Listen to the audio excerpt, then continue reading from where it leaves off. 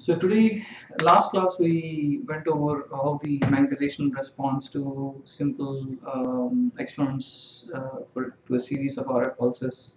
What kind of signal you would get under different conditions, like um, homogeneous field versus non-homogeneous field, um, and how would you write the equations of the magnetization uh, under the uh, influence of different RF pulses.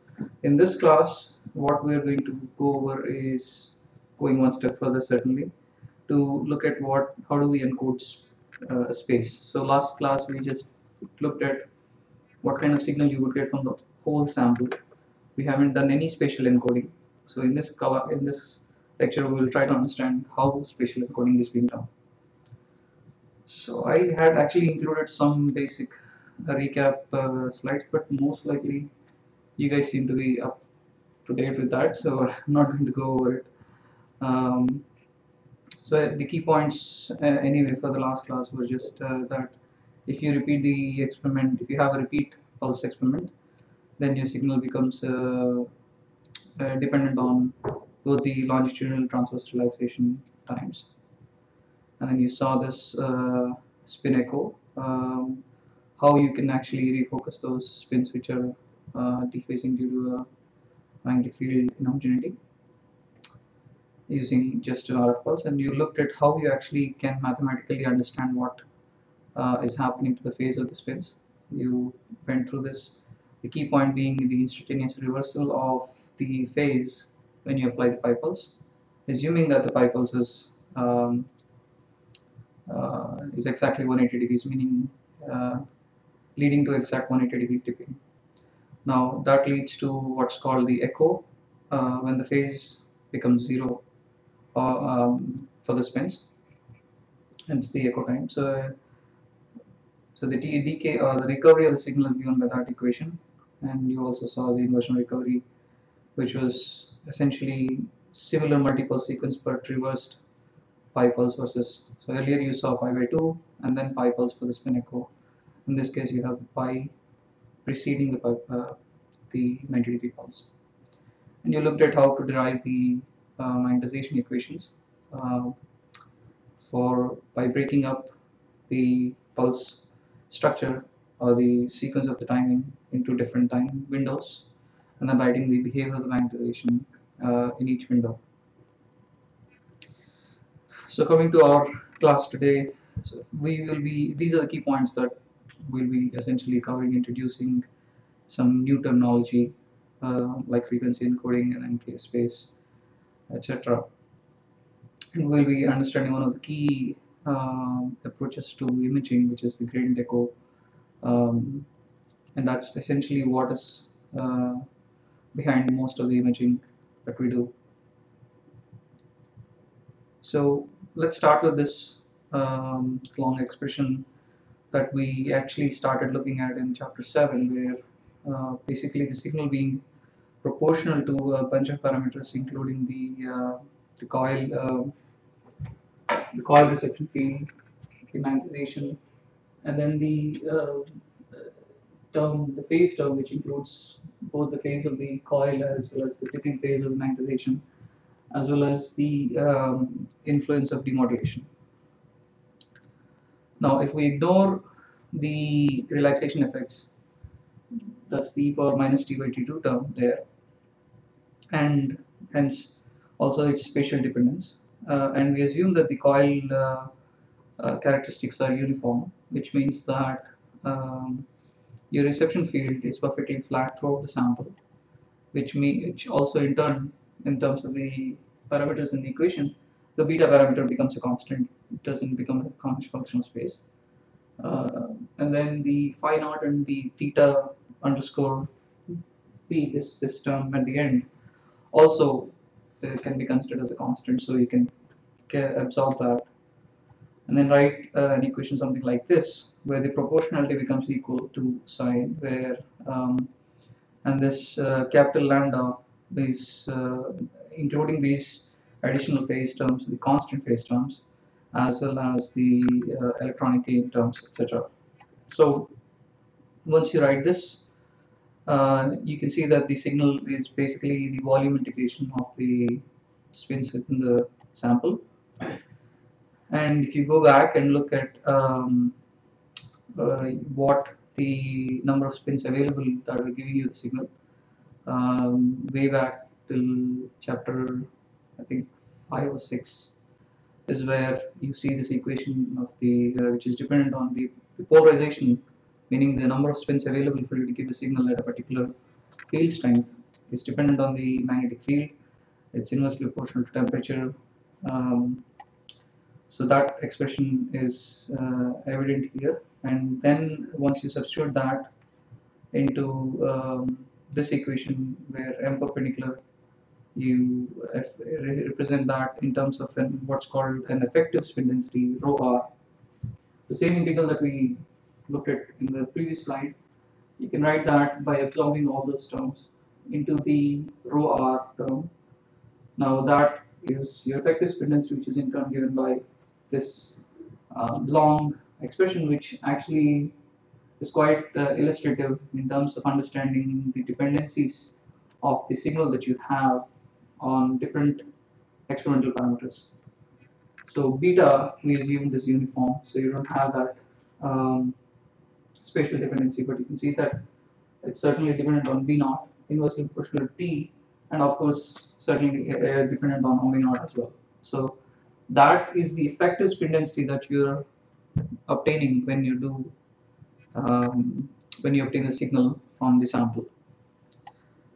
We'll come to how we are actually reconstructing the uh, sample um, signal by spatially um, through spatial encoding uh, in a few minutes.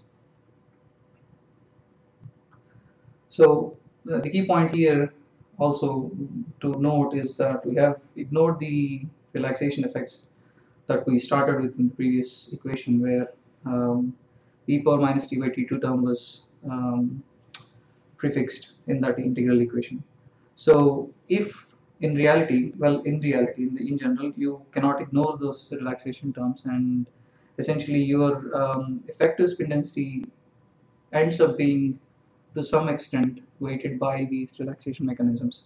So you want to be careful when you want to quantify, let's say, spin density of a sample, then um, you want to look at the uh, experimental parameters that uh, you're using to do this quantification and how that depends on the relaxation terms. So signal through this one is only uh, weighted by spin density, right? Right. In this case, we have not introduced any other factor that if you we haven't even done any spatial encoding. We're just saying that this signal that you're getting from the sample is dependent on all these parameters. And don't forget the point is that don't forget the relaxation terms as well which if you consider then your weighting will certainly be there in that particular expression for uh, rho r. Is do you want these lights down? Is it okay so um, now let's move on and uh, look at the phase term. You had actually come across this in the last class where we were talking about the T2 prime. Uh, the T2 prime being equivalent to the integral of this particular phase term. Uh, and that came about because we considered the uh, magnetic field inhomogeneities that were within the sample. So if we just uh, take a closer look at this particular phase term. Essentially, um, just if you want to keep track of things, how we how we how things evolved, you had that long integral equation. You summarized that and lumped all the terms into the rho r term. So now things become a little bit easier to understand what is going to happen to your signal when you do a certain kind of experiment. So before we actually move on to um, different experimental conditions, we want to just look at what these expressions mean and how they can be mathematically um, kind of clarified. So this uh, uh term capital omega minus omega rt, the small omega being the function of both space and time. So for the meantime, just let's ignore just for a brief moment the time dependency and just look at its spatial dependency which means that there is some precession distribution of precession frequencies in your sample Now, once you um, expand that omega r, which is essentially so uh, the Larmor frequency plus the deviation relative to the Larmor frequency, and if you substitute that, that's your demodulated phase. Meaning that once you demodulate the signal, meaning removing the capital omega naught, uh, capital omega contribution, just looking at the signal in the rotating reference frame, you would have this kind of phase evolution of your signal, which is basically proportional to the deviation um, of your precession frequency relative to omega naught. So, um, so ideally we write phase is equal to omega t. That's assuming that your omega is not a function of time. Now, I in some cases, as you would see in, in general, actually in an imaging experiment, your omega you're going to modulate or basically you're going to control that omega and for your imaging purposes. So uh, that means that the precession frequency now, because you're controlling it, so switching on and off, etc., that becomes a function of time. So you want to write the phase term as an integral rather than um, just product of omega times t, which is assuming that omega is constant. So that's why this is the more generic expression of uh, a phase that you would be using uh, as we move along. And it becomes easier to think in these terms, in terms of an integral of that phase, as you will see in the advanced chapters uh, when you move on to 17 and then um, 19 uh, further within the textbook. So, or just put simply, it's just e power i phi. So phi being the all important parameter here because that's that integral is essentially um, controlled or influenced by two things. One is the spatial variation of rho r. The other is the spatially dependent phase of your um, spins. So to I mean that was when you looked at this particular slide. Essentially, we have not in, done any encoding, and um, under the ideal situation where there was no delta omega, then it's just the integral of your spin densities, and that's your signal. Of course, you would have the power t minus t by t2 in front of it, so you would have that decay of the signal when you have the FID, which I think one of you guys answered just the case where you just have a sample, you apply the 90 degrees, assuming that the field is perfectly homogeneous, you just have a signal decay of T2. But if you have a finite uh, B naught uh, changes within your sample, that's the expression or the integral equation that you would have. So this is not nothing to do with encoding of space yet. yet. So let's now uh, look at how space um, spatial information is encoded. So in that encoding aspect, basically you want to distinguish signal coming from one one side of the sample or one part of the sample from another part of the sample. In 1970s, um, Dr. Lauterbur and Dr. Mansfield, they have realized that uh, an easy, a simple way to be able to do that is by purposefully changing B naught in the previous slide you had the delta omega which was a nuisance for us because it was causing faster decay, it was causing the T2 star aspect. So the brilliance here was that they actually wanted to purposefully change the magnetic field to be able to do a more organized job of distinguishing in a uh, in a clear manner what spins or what signal is coming from which part of the sample by purposefully varying the B naught.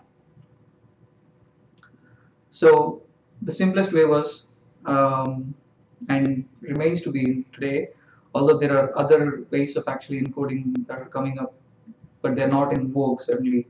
Uh, all almost all the clinical imaging is essentially based on this particular simple concept where of spatial encoding where your uh, precession frequency becomes a function of space or coordinate of your spins by introducing the magnetic field gradient.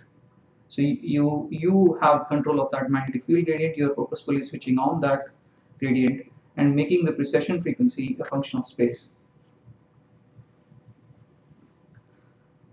which means that every at every position z, the precession frequency is different. Well, just a graphical example, uh, I mean, I mean representation here. So if you have a gradient, a linearly varying gradient. Now remember that the gradient is only modifying the BZ. It's not particularly applying a new new field along any direction. It's just modifying the existing BZ, which is the B naught that we have been talking about, and making it a function of Z coordinate. Or it can be any coordinate. In this case, we're just assuming that this being along the Z direction. So since we are looking at 1D case, one dimensional case, understanding the signal behavior, what happens in one dimensional case, and then we'll move on to multidimensional aspects.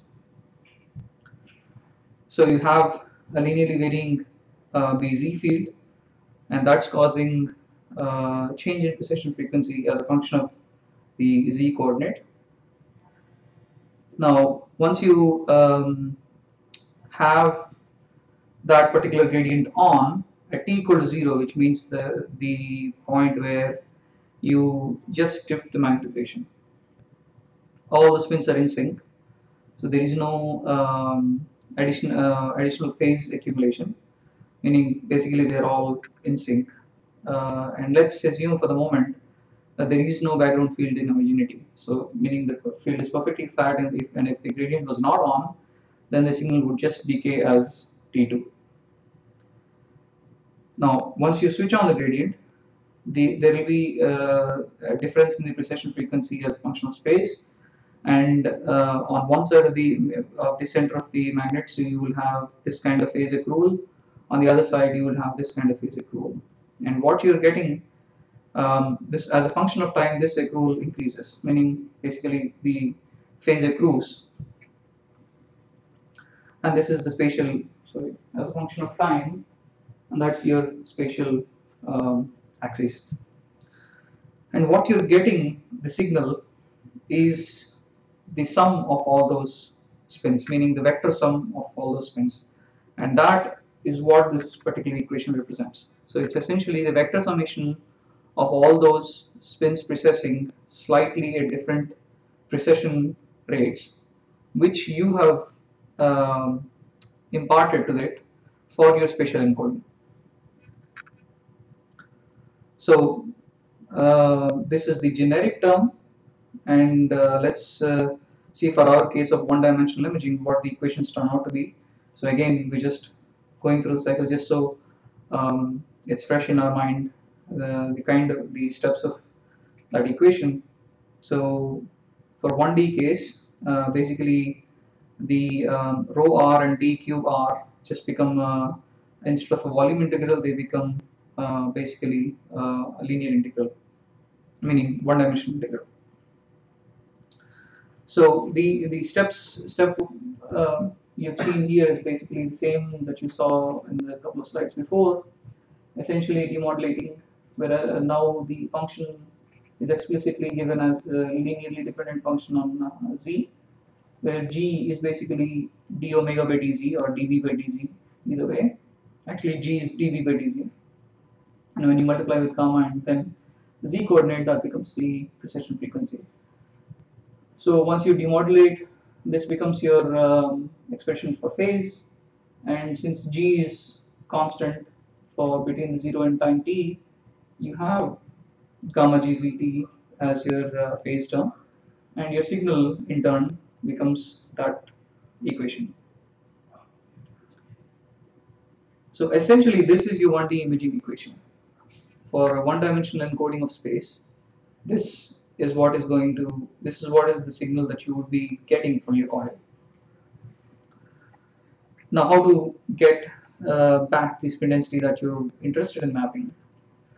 So um, to actually uh, be able to do that, uh, in fact you can do, um, you can realize just by looking at this in general uh, that this is the Fourier relation between the signals that is sampled in time versus um, uh, the encoded signal um, in space. But it becomes easier because it's now you have time on one side and then space on the other. It becomes tough to kind of um, uh, think of it in, in terms of Fourier pair. So it's easier actually to um, clearly uh, do a basically simple uh, variable change uh, by expressing the phase as, as this particular parameter where k is given by gamma gt. Uh, note that this is gamma bar. Actually, I couldn't find the symbol in LaTeX for the gamma crossbar. So I just, uh, this is what you use in your textbook, but this is what I had used in my, um, uh, in, in these slides. So gamma bar is nothing but gamma by 2 pi. So k is given by gamma gt. That is for a for a constant gradient in this case. Um, and then you can write that the same above expression through the variable substitution uh, in this manner. Now k and z are Fourier pair variables where k is your spatial frequency uh, domain variable and z is your spatial um, uh, variable and this actually uh, is more easy to realize that this is the Fourier relationship between the um, sampled signal in the k domain and the uh, spatial domain uh, information so that's your one-dimensional in, um, imaging equation in terms of k Why we are interested in changing the variables? Can you just so um, when you sample the signal, you're still sampling the signal in time domain. But how are you relating that particular time variable to your spatial information that you're encoding? To make that more obvious, you're changing that variable and making just uh, the so you have gamma g and z. So certainly your encoding is dependent on your gradient. By summarizing those um, the terms uh, of uh, gradient and the time basically um, okay what's the better way of answering this question? I'm just trying to think. Um,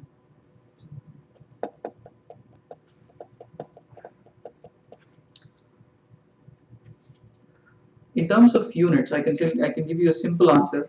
Uh, maybe a more detailed answer is there. I would try to find it out. But in terms of simple uh, units 1 by k has units of z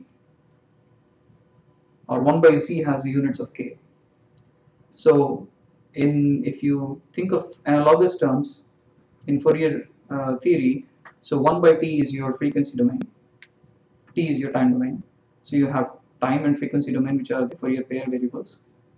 Similarly, you have uh, k and z in this case. Without that variable substitution, that particular relationship is not quite apparent even though you can continue to carry out these integrations and derive the uh, what the signal is going to be in terms of these pure variables meaning pure meaning variables that you can clearly apparently see in your in your experiment.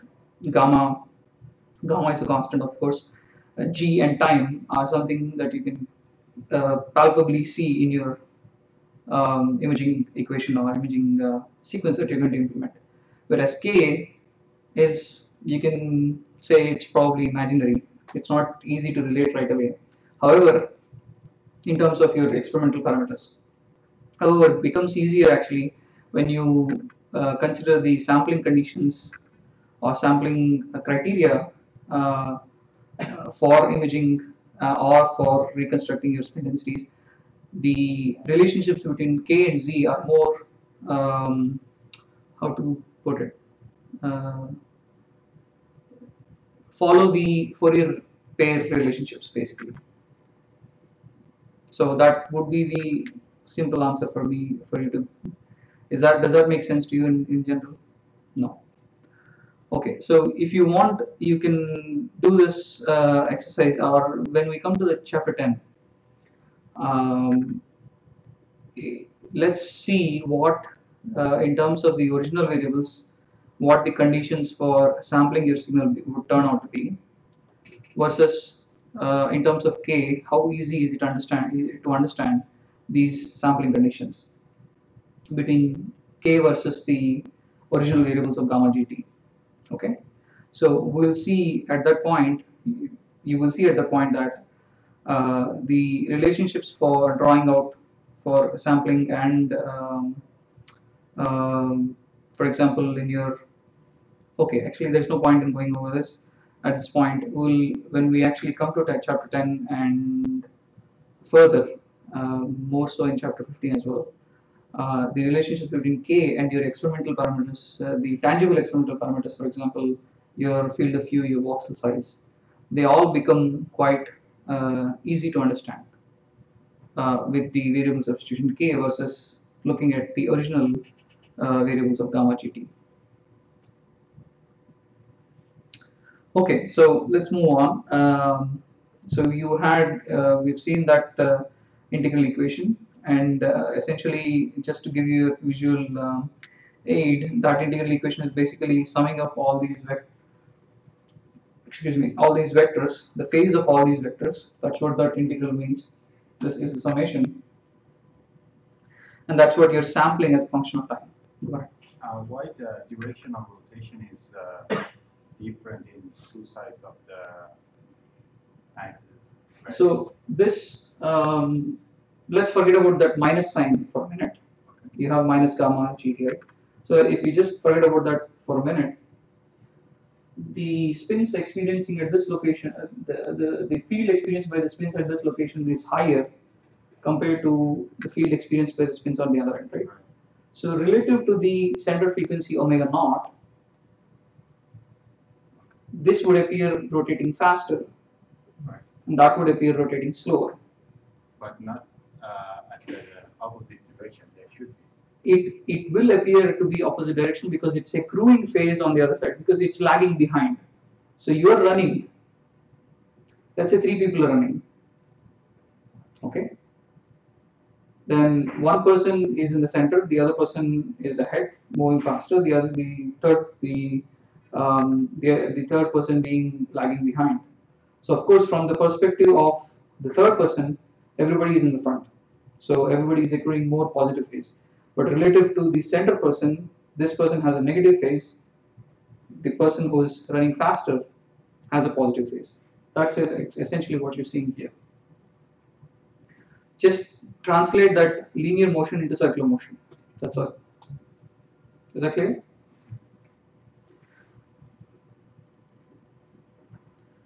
So it's important to remember that there is no one-on-one relation in terms of spatial coordinates or uh, so the sample or the signal that you acquire at a particular time t is not related to, to a particular location, a spatial location in your sample. It is coming, that particular signal is coming from all over the sample. It's the integral of that signal, um, of, of the signal from throughout the sample. Okay, so your 1D imaging equation. Um, this uh, is your uh, inter written in terms of k, and this is uh, if you want to get back the uh, spin density, this is the equation that you would write because by realizing that this is the um, Fourier transform of your spin density, that's what you're sampling, and the inverse Fourier transformation of your spin density is what you're going to uh, do or perform to obtain your spin density as a function of space. Now, if you notice the k and the z, of course z being, um, you can choose your coordinate origin anywhere, but the key point is that that integration is happening throughout the sample, meaning it's the integration of whole sample. And in, in terms of uh, the inverse Fourier transform, the values of k go from minus infinity to plus infinity. That is in the uh, analytic case. Of course, uh, you can't sample uh, the signal forever, meaning t cannot go to infinity or k cannot go to infinity. That means you have you will end up with a finite number of a finite amount of values or band of values of k, which is limited because of course you have your t2 decay, so the signal is going to go to zero, right? So because of that, your k, the values over which you're the um, uh, you're going to obtain your signal is going to be limited. So uh, let's look at this in terms of the timing curve uh, diagram or the sequence diagram. So you have the RF pulse and then uh, uh you've switched on uh, the gradient that we were talking about and you will see something like uh, this in terms of your signal that you would see, that you would get.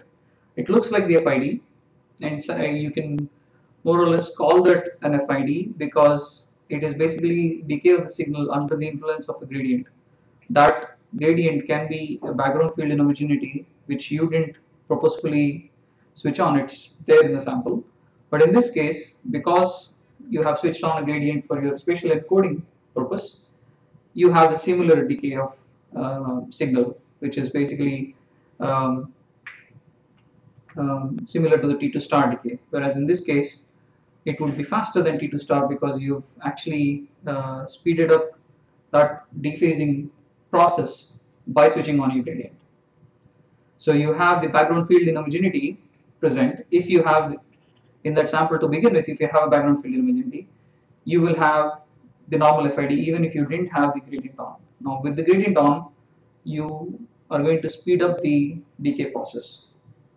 So you will have you will see this kind of beat frequency uh, um, feature. But how we, uh, how we get the echo here, No, we haven't talked about the echo yet. but we have echo right? No, that's not. That's just an FID. There's no echo there. So what do you call, I mean. That's just a, uh free induction decay, but in this case, it's free induction decay in the presence of gradient.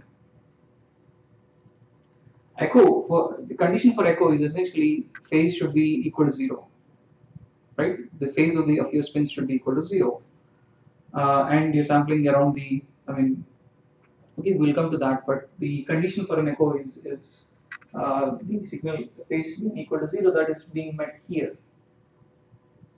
In fact, in reality, that is being met at the center of the RF pulse, at which point you're not sampling the signal yet. So you're losing the center of k-space. Uh, I mean, forget, I mean, we haven't introduced k-space yet, but uh, you're losing the center point, meaning the echo point, right? So that's why this is still not an echo, this is still the FID in the presence of a gradient. We'll come to the echo part um, quite soon. Uh, let's just uh, look at the influence of a gradient to understand that in a very simple system of two spins. Now this is basically uh, similar to what the cartoon that you had seen last time where you had uh, two spins which are precessing at two different frequencies. Um, let's assume that this is they are precessing at two frequencies because of the presence of a gradient. Okay, there's something more tangible if you see that playing out as a function of time the same thing is actually given uh, uh, shown here in the bottom in the C, just above the C part. I mean in the C part. So um, when you have two spins let's say at um, precessing at two different frequencies now let's get into the details. Um, these spins uh, let's say are at equidistant positions relative to the center of the origin. Um, that's let's assume that's plus z naught and minus z naught. So in as in terms of the timing diagram, you have the RF pulse. Let's skip them, and if you don't have any gradient, then you just have this decay, assuming there is no T2 decay. If you had the T2 decay, then this would just be decaying like that, right? Now, once you switch on the gradient, then you have this spin precessing at a different rate compared to this.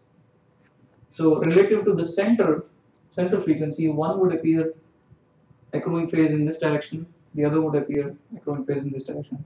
Now that can be flipped uh, if you let's say remove the minus gamma g, that minus sign in front of it. But keeping the minus sign basically uh, this is the um, um, direction of accrual of phase that you would end up with if you mathematically calculate carefully.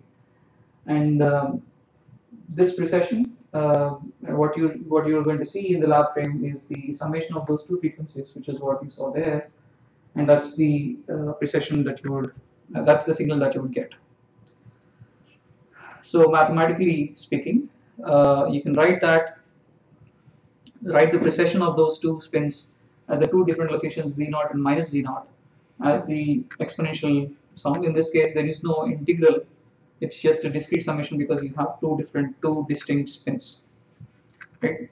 Uh, I'm sorry if you guys sit here. It's easy for me to go uh, anyway. That's okay. Uh, that's fine. I'll try to uh, move around. Um, so you, it's basically summation of those two exponentials, uh, complex exponentials, and by using the trigonometry Euler uh, expansion, you will see that that becomes 2s naught cos, and that's the signal that you would um, obtain as a function of time. And if you write it in terms of k variable, this is what you end up with, where k and z naught are related now.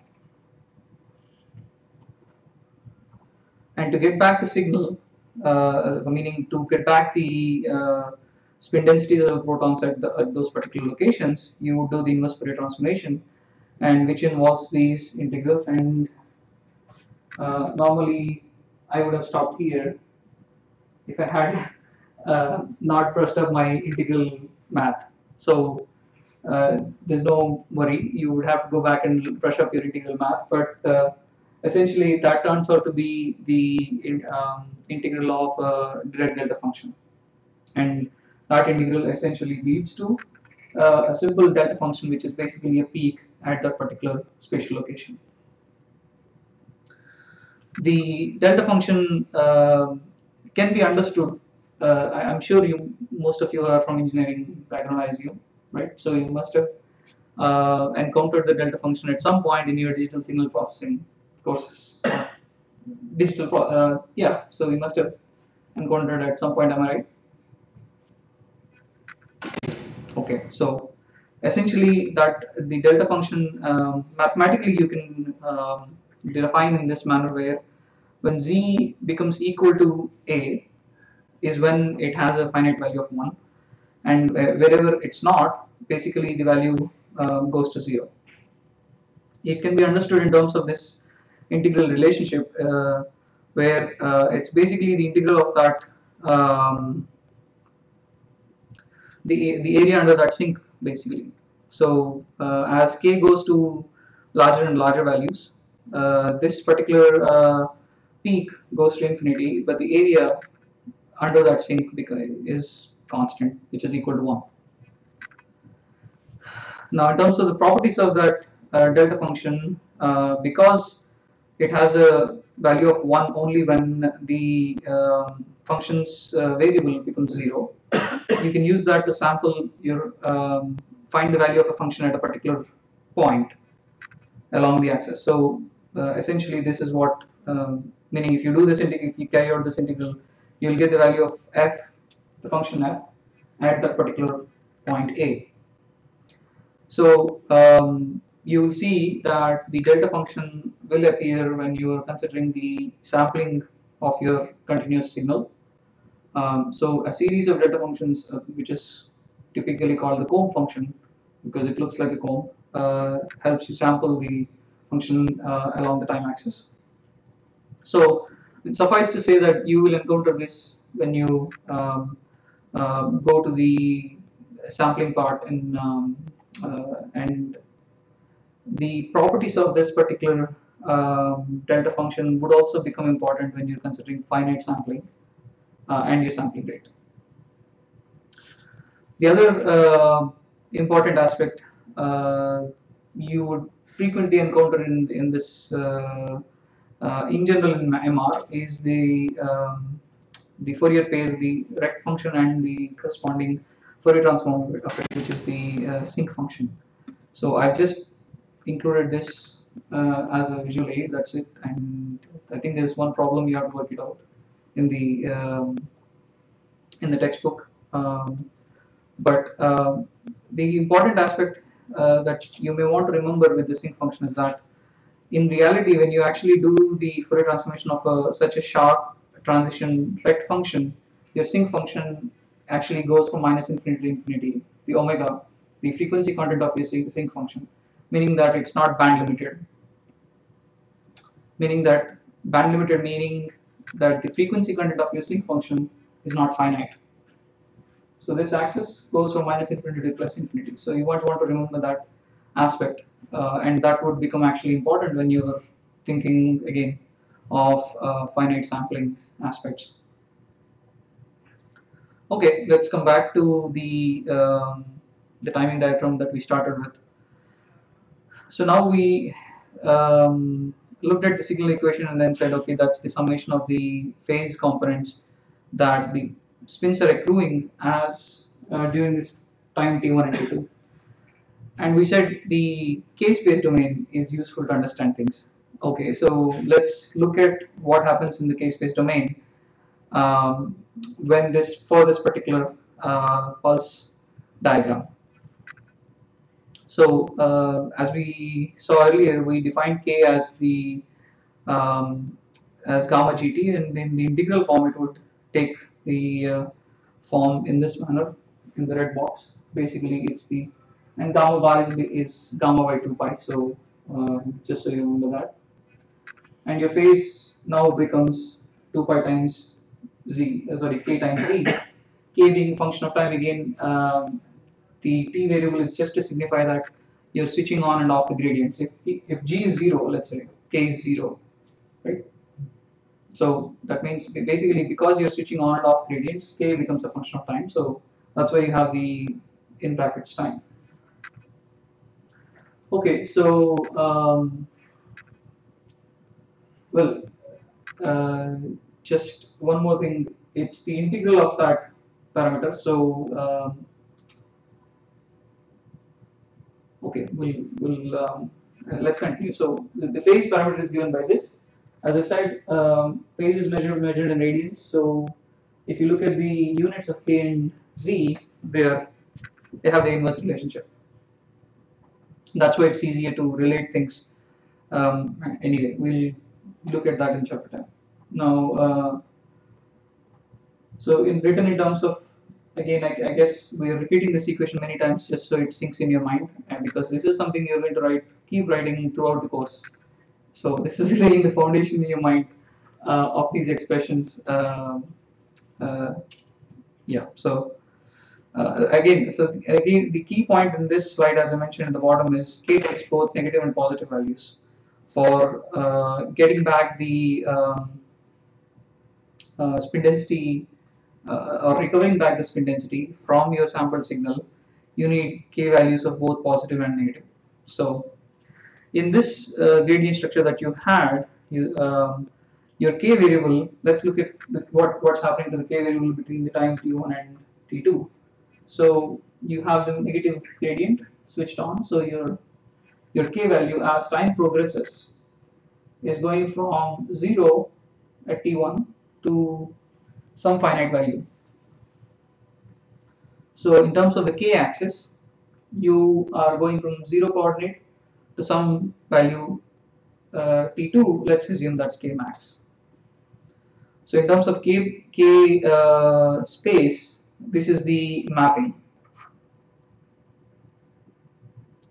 Now if you have a different, uh, a slightly modified structure of gradients, so earlier you just had T1 to T2, the gradient switched on. Now let's say you switch on another gradient um, at T3 and then keep going till T4.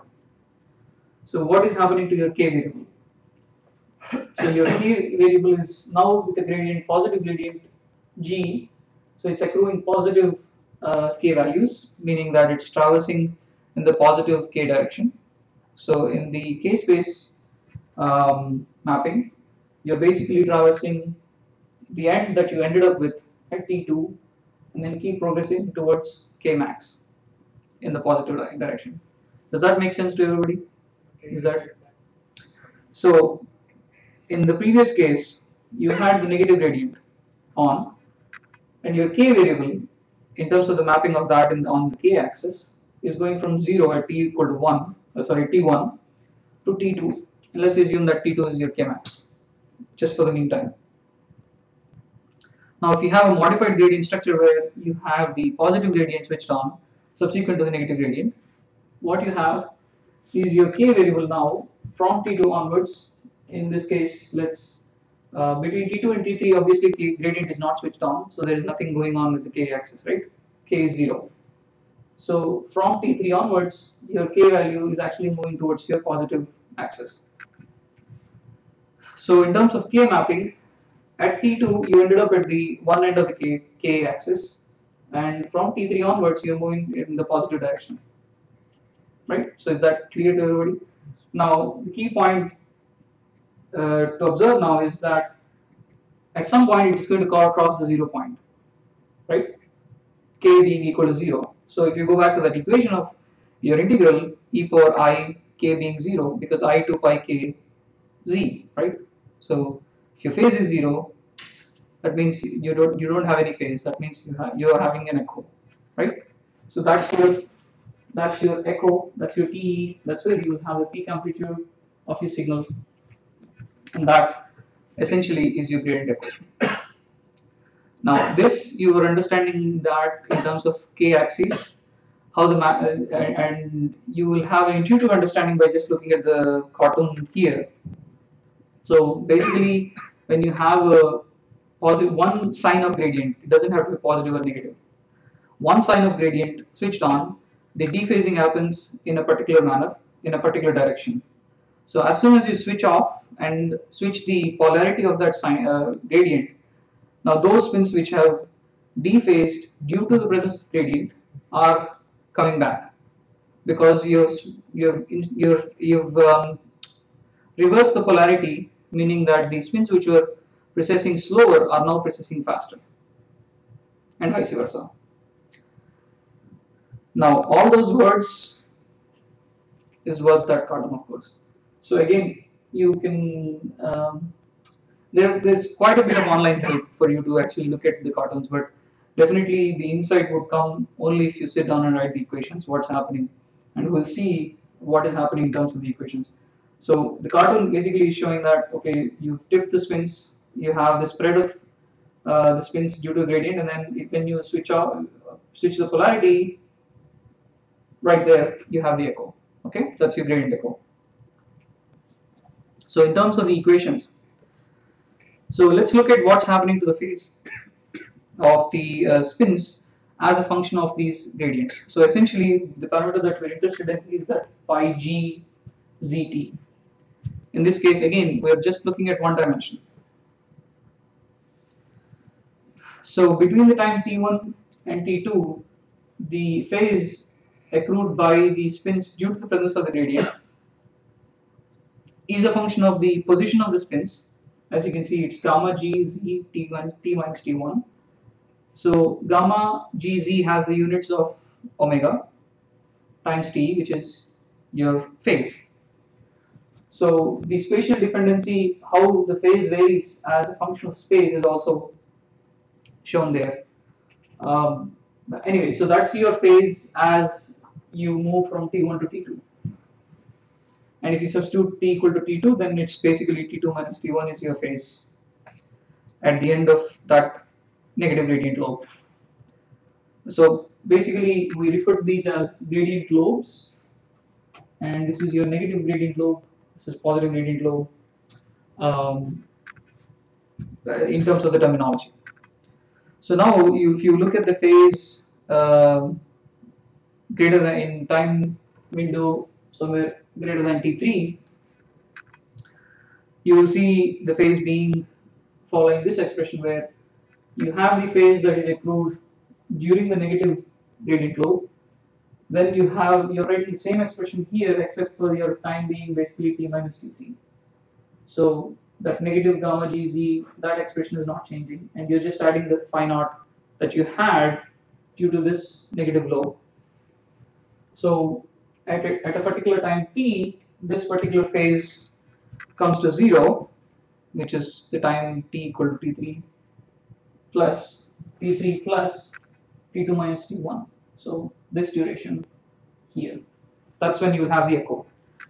So um, so the condition mathematically can be written for you to have a gradient echo is that the first moment of your gradient has to be equal to zero. So here we haven't because gradient was constant during this time, you just wrote this as a product g times t. In the case where g becomes a function of time when it switches on, let's say it's a sinusoidal gradient. Okay, it's varying as a function of time sinusoidally. Then this will become an integral of gamma g times um, g dt basically. So it's the first moment. That's this gt times t the, uh, dt. So the first moment of the gradient should be zero for you to have a gradient echo. You can state that in, a, in, in other words, for linear, I mean for uh, constant gradients, this area of this lobe has to be equal to the area of this lobe. The area of the dephasing gradient lobe has to be equal to the area of the rephasing gradient lobe. That's when you will have a gradient echo for a constant gradient. Okay, is that clear to everybody? So um, to again come back to the k-space axis, um, if you do a, a coordinate shift um, or variable shift um, in this case, again, um, I want to say don't ask me why we are doing time shift, but I, I won't say that. What I mean is um, mathematically, whenever you do a variable substitution, the whole purpose of it is to make your life easy when you're trying to solve a problem, right? Or when you're trying to figure out what's happening with that equation. So that's essentially what you're doing, whether you're doing a time shift or um, k-space variable substitution. But k-space has more um, to it than making your life easy, uh, just mathematically. It, it also gives you some physical intuition in terms of uh, your experimental parameters. Like I said, you will see that in chapter 10 and further as well. So uh, it's easy to actually realize a few things when you do a time shift uh, and shift your time coordinate the center of the echo. So when you do that, so t prime becomes your center, uh, your new coordinate. So now anything on this side is negative time and anything on this side is positive time. So your phase is given by minus gamma g z t prime. So in terms of your um, k, k space axis, essentially t equal to t prime equal to zero is your center, and any negative time is your negative k space, and, and positive time is your positive k space. So essentially, during this particular window of time, you're going from negative k max to positive k max, meaning that uh, in terms of mapping the Fourier variables, z to k, so you're covering the full k space when you're uh, well, you're covering the k space from uh, symmetrically from one end to the other. I won't say full k space, but you're covering the k space symmetrically from one end to the other end. Um, and it has its own advantages. Uh, now let's um, uh, stop and think for a, for a minute. Um, why do you need both k uh, negative and positive axes? So can you not just do a Fourier transformation of the FID just from here to here and still get an image? Can anybody answer that? So that means essentially in your um, integral, you're just doing from 0 to a certain value of k. Sorry, in this case, it's the other one. Um, do we have that accessible somewhere? Okay, I don't want to go. But I mean, you know what I'm talking about. So if you write s of uh, sorry uh, rho of z then this becomes the integral becomes in terms of um, k and this becomes positive gamma g z t prime or positive i 2 pi k z. And the integral is, is over uh, integral variable is k. Everybody following me or am I okay. So the point that I'm asking is can you still recover the signal if you just integrate from 0 to k on one side.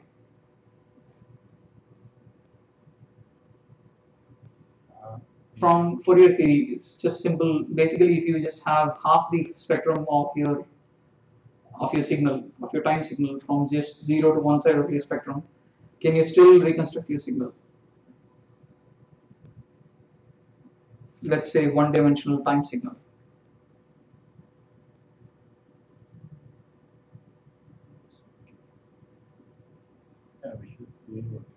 Under what conditions can you fully recover that signal and reconstruct that reliably.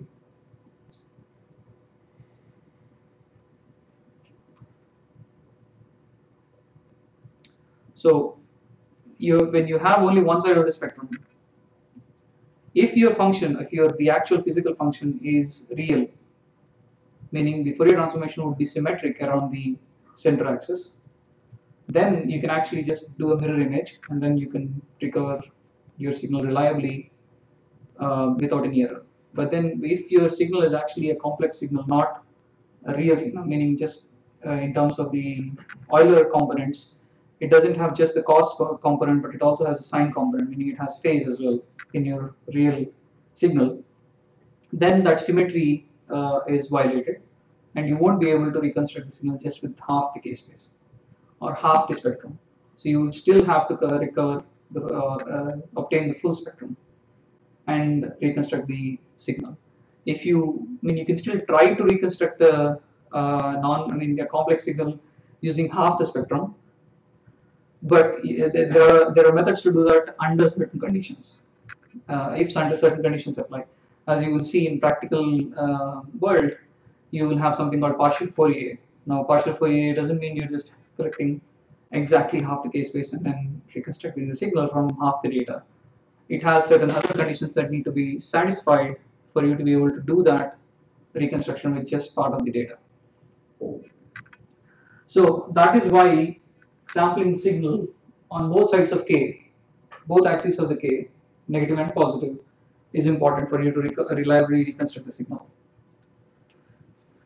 Okay, so we looked at uh, gradient echo. Uh, that was important uh, for doing your spatial encoding. And the last class you looked at uh, spin echo, where um, to get an echo you didn't have the gradient, you just had the RF pulse, and then you got, you obtained an echo. So, what is the difference between gradient echo and spin echo so far? Your understanding?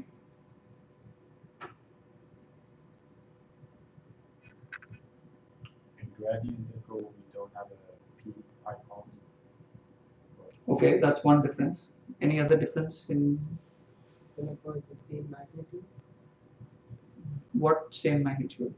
Uh, to, to switch, it would have uh, the same magnetic field applied. This is gradient. Right, so basically you don't have gradient switched on. Fine, okay. But what is the key difference there? What is what is the purpose of the gradients that you had to use in gradient echo versus what's happening in spin echo? Okay. Well the answer that I was trying to get at the case. Right, so gradients are used for spatial encoding. So to get a gradient echo, you're, you it means that you're trying to do spatial encoding. Whereas for spin echo, you can get the spin echo even without any gradients, you by just using the RF pulse, which means that the spin echo doesn't have to do spatial encoding. If you have a gradient switched on while you're getting the spin echo, which is the case shown here, you are using the spin echo to uh, just fortuitously to increase your signal, um, get a higher signal. Basically, spin echo obviously gives you, and we'll see that it gives you higher signal than gradient echo because that is decaying at T2 rate, and your without the spin echo, your your signal is decaying at T2 star rate. Uh, okay, but that point aside, uh, if you even if you didn't have that pi pulse, uh, well, I guess this is not a good example, but um, if you had this gradient structure, you will still have the gradient echo and you can do the spatial encoding. The above structure is just um, helping you to obtain a spin echo, where the spin echo is coinciding with your gradient echo. So this pulse structure where we have the um, spin echo structure pi by 2 and then pi, if you write the equations like you did last time, um, breaking up the time duration and then writing what is happening to the magnetization transverse and longitudinal, uh, well, in this case, you can write that for fun and then realize that longitudinal is not playing much role. In this case, it's just the transverse that's important. Um, you will see that the phase accrued by the read gradient, uh, uh, because of the switching on of the read gradient T1 and T2, uh, just like any presence of background field gradient is instantaneously the sign of it is switched switched opposite at the pi pulse and then um, this particular gradient is basically uh, bringing back the K space. Um, you'll see the K space figure for this.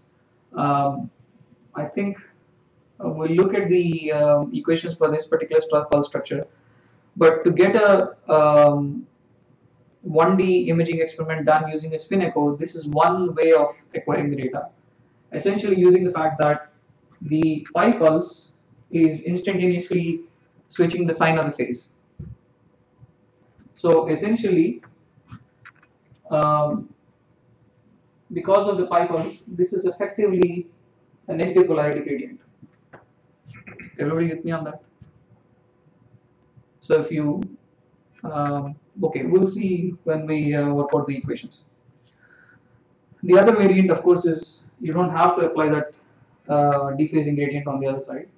Okay, by the way, uh, these, the terminology again, the I, I mentioned the gradient lobes. This is called the, uh, of course, this is the negative gradient lobe and then positive gradient lobe. But typically, the one, the, the gradient lobe that is preceding the actual acquisition of the signal, or the gradient structure which is corresponding to the acquisition of the signal, is called the dephasing gradient lobe, and this is the rephasing gradient lobe. Is that clear to everybody? That's basically, I mean, literally dephasing the spins, and then this is rephasing the spins by switching the polarity of the um, gradient. So you have two options to obtain uh, to do 1D imaging experiment using a spin echo coincided with the gradient echo, meaning that the gradient echo timing uh, is exactly in sync with the uh, center of the spin echo. So in terms of the K space, uh, as I was mentioning, the effect of the pi pulse is essentially switching the uh, sign of the uh, phase, right? So with the positive gradient lobe in the K space mapping or K space axis, you're going from 0 to positive K because you have a positive gradient lobe. And because the switching of the phase, essentially you have a, you're almost moving back to the negative axis because your phase has, the sign of the phase has switched. And then because of the uh, rephasing gradient, you're basically moving from one end to the other end again. In this, in this, in the latter case, you don't have that. Um, uh, basically, you're just. Uh, this is similar to your gradient echo. Basically, you're without this. This is just your gradient echo. You just have this to have your spin echo coincide with your gradient. Um, so in terms of the equations, let's look at what's happening in this case because this is the interesting case. The previous one is just uh, writing the equations of spin echo separately and then gradient echo separately and then you're just making the time, timings of those in sync and then you get the expressions of the uh, signal. In this case, you have to write okay what's happening for the phase to the phase between these two times. Um, let's assume you do have some background field inhomogeneity, so that's your delta BZ. And then you have the spatially dependent phase because of the gradient that you have uh, switched on. Uh, so that's your phase term, accrual term from time here to here. In fact, um, for the um, gamma delta BZT, uh, that term, the phase is being accrued throughout the duration. If you, you need to make that distinction when you're looking at that expression or writing that expression. The G term is only um, present when you're talking about this window, but then the delta B term is, is present throughout until the time tau. Then you have the reversal of your phase. So until time tau, your phase has accrued because of the delta B, whereas because, because gradient is only switched on between these two time points, your phase due to the gradient is this. And then you write uh, the subsequent phase term following the pi pulse, which is basically, so this is the negative of this, and then this is the normal same phase term of minus gamma uh, delta bt, where delta b is basically your inherent inhomogeneity and your gradient. So you can uh, work it out, make it equal to zero, and so to figure out what what time does this um, become uh, uh, phase become equal to zero, giving you a spin echo and a gradient echo. So that's the condition. If you satisfy that those conditions, then essentially you will get a gradient echo and a spin echo coincided. So um, we, I, we mentioned earlier uh, that the gradient echo amplitude is obviously lower than spin echo amplitude because of the T2 star decay. This um, decay curve illustration shows that clearly. So if you want to um, follow through what's happening as a function of time, so the green curve is the decay curve when you switch on the gradient. If you don't have any gradient on and you just applied the 90 degree pulse and you're looking observing the signal on envelope, you have the T2 star decay which is your red curve. The green curve is when you switch on the gradient, you have even faster decay because of the presence of the gradient. So you have that.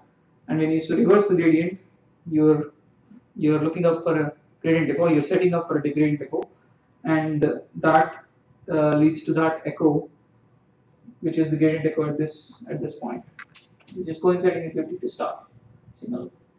Now, if your gradient echo coincides with your spin echo, then essentially you have this this green curve, just shift that here, coincides with the uh, spin echo, and that's when you have um, a spin echo imaging experiment versus a gradient echo imaging experiment. So as you can see, um, if there are advantages for doing gradient echo because, well, in this case, it turns out that these two are, I guess this is not a, a good way of showing it, but if it turns out more or less they are the same amplitude, but you can imagine that your, your spin echo can be here, right? So obviously, the gradient echo at a shorter TE still has a lower magnitude compared to a spin echo slight at a slightly longer TE. You follow me, everybody? So that's the advantage of having a spin echo. Now the flip side of it is that you have to wait long because you have to apply the pi by 2 and the pi pulse with a finite duration to get your spin echo. Whereas gradient echo is uh, just switching on and off the gradients, which is easier um, and less time consuming. So and and and spin echoes also have some problems in terms of having the perfect perfectly pi pulse. Um, if in in case your pi pulse is not exactly reversing the phase, then what are the effects? Um, in the, in that situation, what's happening? Uh, it won't give you perfectly uh, a spin echo. So all those effects you won't have if you're just having gradient echo and certainly you can do faster imaging because um, your TEs can be very short and are not limited by the time duration between the pi v2 and pi pulse. The other aspect is the RF energy because you're not using uh, large amplitude uh, B1 pulses. Um, you're not subjecting the sample or the patient to high intensity radio frequency energy uh, to relate to our physical experiences. Uh, your cell phones are gigahertz frequency, and if you talk with someone for a couple of hours, you can feel well. One is the battery getting heated up. The other is also um, you will feel uh, the um, your brain does get heated up because of the exposure to the gigahertz frequency electromagnetic radiation. And of course, there is some scare about tumors and all that, but uh, the basis for that scare is that when you have radio when you expose the sample to radio frequency energy, you have some energy absorbed by the body, which leads to heating up of the tissue, which is not normal. So if you have your tissue heated up, then there are going to be some consequences.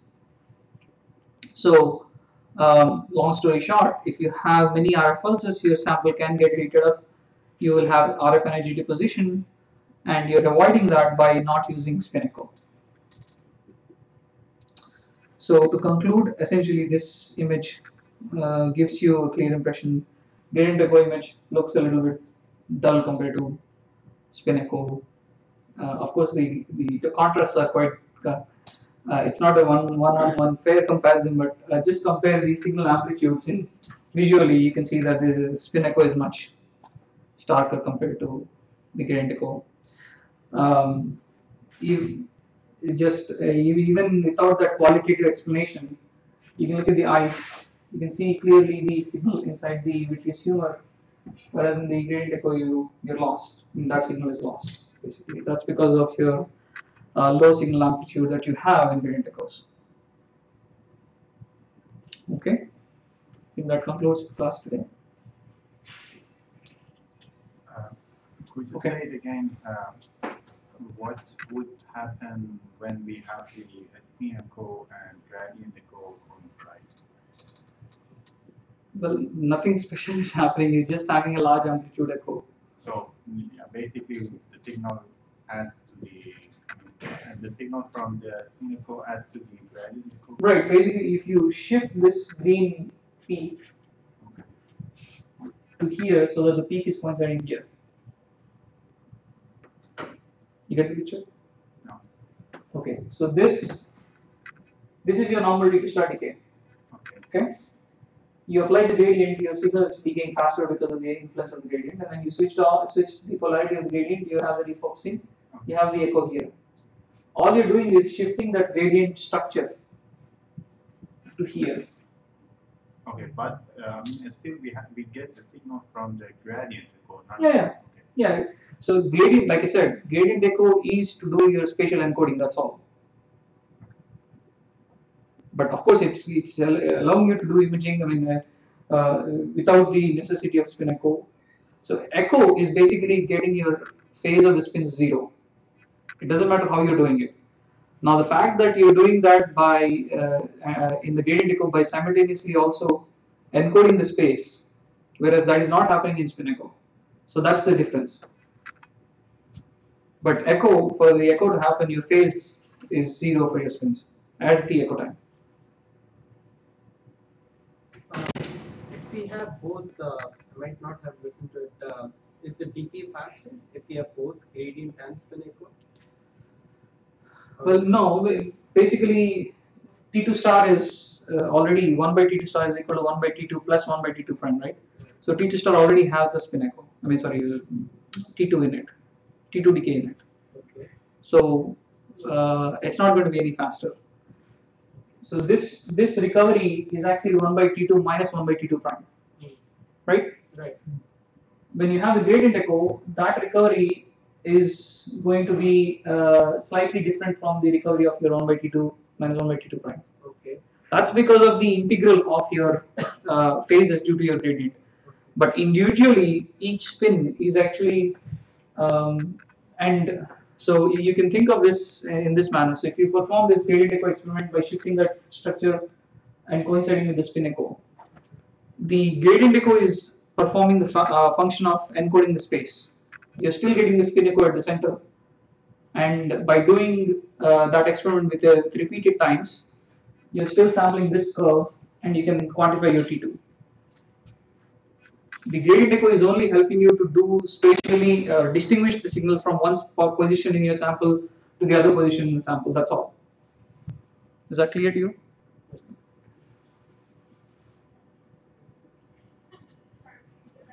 Any other questions? So in terms of vendor definitions of these sequences, um, would that be considered a spin echo or a, that would be a spin echo sequence, even if it uses the gradient echo for spatial? Yes, yes. So if you have a spin echo happening in the in the um, in the acquisition, then it's typically called spin echo. Uh, gradient echoes are also called uh, field echoes because you're just getting the echo by shifting the polarity or switching the polarity of the field, a gradient field. So that so they're also called field echoes. So in physics, I think there's some term called field echo, and then um, in um, GE, I think it calls it as gradient echo. Um, yeah, or gradient recall is another term that that's used. So um, yeah, I think that's all I can remember right now. thank you. So majority of the time we use with uh, gradients, right? Because Right, because you want to do spatial encoding. Without uh, that, you're not doing spatial encoding. Now, in uh, spectroscopy, which we haven't actually discussed, but in that case where you're not using gradients, but you want to distinguish uh, chemical species precessing at different frequencies, there you're not using gradients. So, um, I mean, we're going to talk about this in detail, but just imagine this experiment where um, you well in that case you don't have an echo you're just um, let me think about it for a second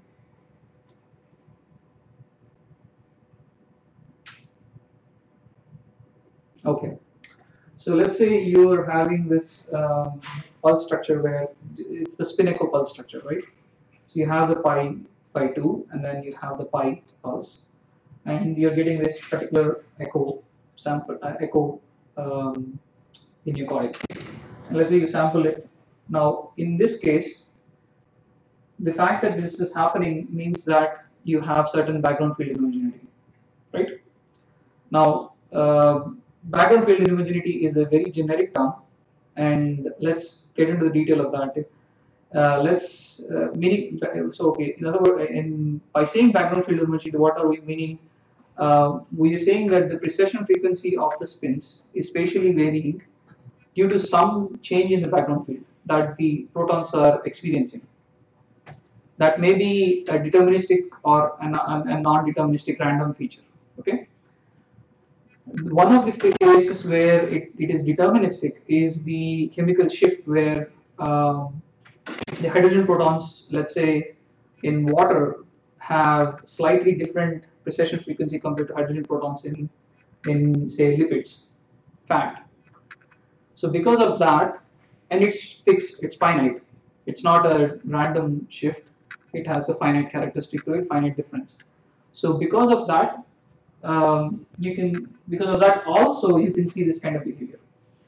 So let's assume that there is no other background field inhomogeneity and you just have those chemical species dependent um, precession frequency shifts. And you have this kind of uh, echo happening. So you sample this echo and there, even though you didn't use the um, gradients to encode space, uh, well here you're not trying to visualize where these chemical species are. If you take that particular spectrum and do a Fourier transformation, remember even this is basically the integral of e power i phi where phi is your phi is your gamma delta b meaning phi is dependent on your field homogeneity. In this case the field homogeneity term is chemical shift between one species to the other. So again, you will end up with a term with, a, with an equation which is a Fourier relationship between the precession um, frequency uh, content of the signal and um, yeah, in this case, it's just uh, there's no k space here because you're not encoding space. It's just uh, e power i omega times t, omega being a spread of frequencies. That's your integral and your S of t is your sample as a function of time. So you just, it's time versus omega and you take the Fourier transformation of it, you get the frequency spectrum where uh, the peaks at a given omega mean that the chemical species, uh, the amplitude of the peak at a given particular omega is corresponding to the uh, amount of the chemical that is present at that particular resonance frequency. This is just a very hand-waving explanation, you will see the formal equations eventually. But um, you can use uh, the spin echo for doing that without any gradients. That's one one example where you're doing that without using gradients. There you're not encoding space, but you're encoding the the chemical species.